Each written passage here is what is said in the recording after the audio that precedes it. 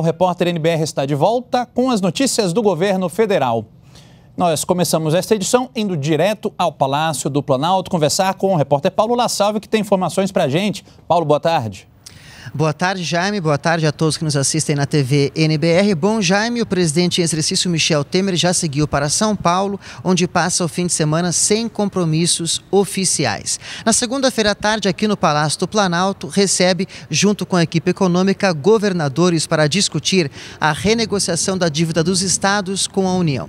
Isto ocorre praticamente dois meses depois do Supremo Tribunal Federal ter dado um prazo de 60 dias para se chegar a um consenso sobre este assunto. Antes disso, o STF concedeu 11 liminares, que são decisões provisórias, para 11 estados iniciarem um pagamento da dívida pública utilizando a metodologia de juros simples, o que não vem ocorrendo no país desde o final da década de 90, quando esta metodologia utilizada são os juros compostos, ou seja, juros sobre juros, o que ocorre também em todo o sistema financeiro nacional. Nacional. O argumento dos estados é que, por conta da perda de arrecadação neste ano, eles podem vir a não conseguir sanar essa dívida, pagar as mensalidades com a União, já que, em alguns estados, o pagamento do funcionalismo público, por exemplo, está sendo parcelado. Por conta disso, o governo federal está negociando com os estados e tem uma proposta: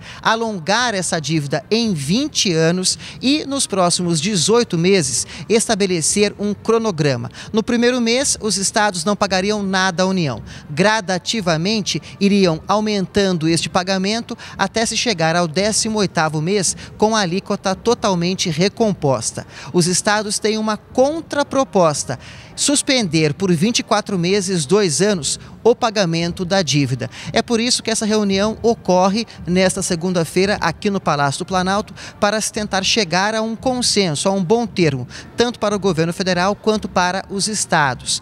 O que o governo federal não quer é que o STF estenda esse benefício aos 26 estados e ao Distrito Federal, ou seja, o pagamento por meio de juros simples, porque, segundo a equipe econômica, isso acarretaria uma perda de arrecadação para o governo federal até 2028 de 403 bilhões de reais. Então, na segunda, já temos às 15 horas um compromisso importante aqui no Palácio do Planalto, acompanhar essa reunião entre o presidente em exercício Michel Temer e os governadores e ver se sai alguma decisão final dessa reunião. A NBR vai acompanhar e vai trazer as informações na próxima segunda-feira. Agora eu volto com você no estúdio, Jaime. Paulo, obrigado pelas informações. Situação que precisa ser resolvida para ontem, não se pode mais postergar esse assunto. Obrigado pelas informações, Paulo. E hoje é o Dia Mundial da Desertificação. Paola Deorter traz os detalhes para a gente. Para lembrar a importância dessa data, o Ministério do Meio Ambiente está premiando as melhores práticas de combate à desertificação no semiárido brasileiro. A gente conversa agora com Francisco Campelo, que é secretário executivo da Comissão Nacional de Combate à Desertificação. Francisco, você pode explicar para a gente a importância dessa premiação?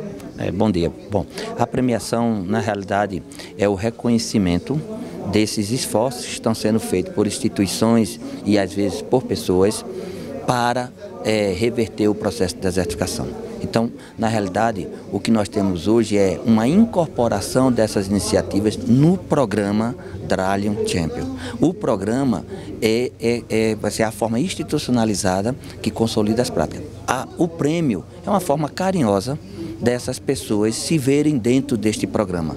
Então, mais importante do que o prêmio é o fato delas estarem inseridas num programa que é difundido dentro dos países que são afetados pela desertificação como exemplo de que é possível se fazer, o, é, se reverter o processo de desertificação. Muito obrigada, Francisco. A desertificação atinge 1 milhão e 340 mil quilômetros quadrados em 11 estados brasileiros. De Brasília, Paola Diorte. Profissionais e empresas que financiaram veículos com recursos do BNDES até dezembro de 2015 vão poder negociar, renegociar as dívidas. O prazo vai até dezembro deste ano. A empresa de mudanças de Ednei começou há 15 anos com um caminhão. Hoje são cinco, três deles financiados pelo BNDES. E o empresário quer expandir ainda mais o negócio. Financiamos em 60 parcelas, né? O qual já está quase acabando. Tem três caminhões ainda financiados está acabando e a gente estamos aí com a perspectiva de comprar mais outros. Ednei já está pensando em colocar os projetos em prática. Uma lei sancionada nesta quarta-feira autorizou o BNDES a refinanciar contratos de compra e arrendamento de caminhões, sistemas de rastreamento novos, seguro do bem e seguro prestamista. Chegou numa boa hora, que agora a gente podemos aumentar o número de parcelas né, e está diminuindo o valor delas para que nós podemos comprar mais. Né? A lei autoriza o refinanciamento de contratos destinados à compra de caminhões, carretas, reboques, carrocerias e outros bens desta natureza e assinados até 31 de dezembro de 2015. Quem quiser renegociar a dívida tem até 30 de dezembro deste ano para fazer o refinanciamento. A medida vale para os contratos de pessoas físicas residentes no país.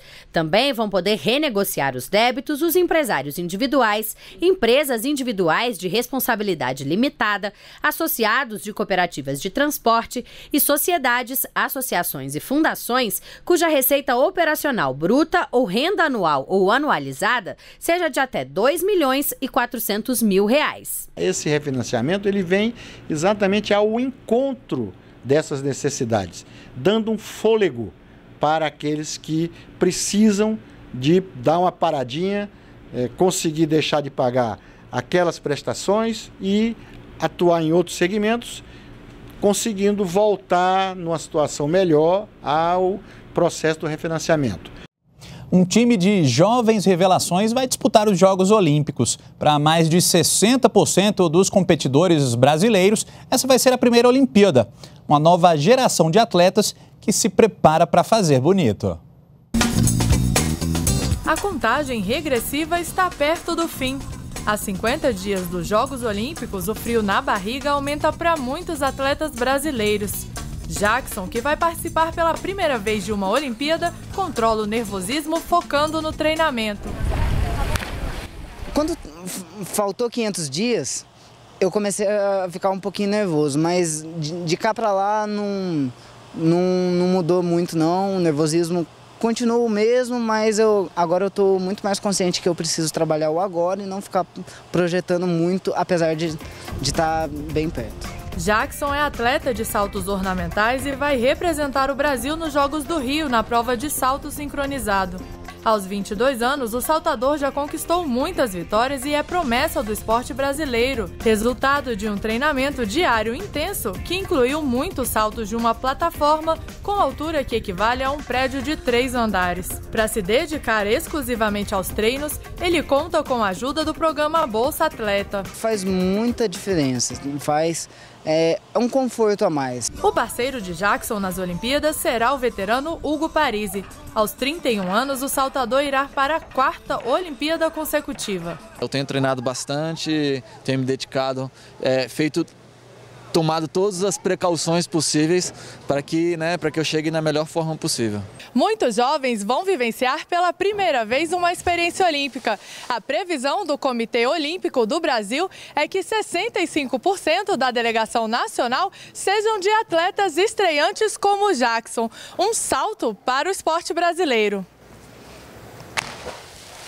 são as Olimpíadas. É um, um campeonato muito forte, muito é, televisionado, com muito destaque, então fazer um bom trabalho é quase que essencial.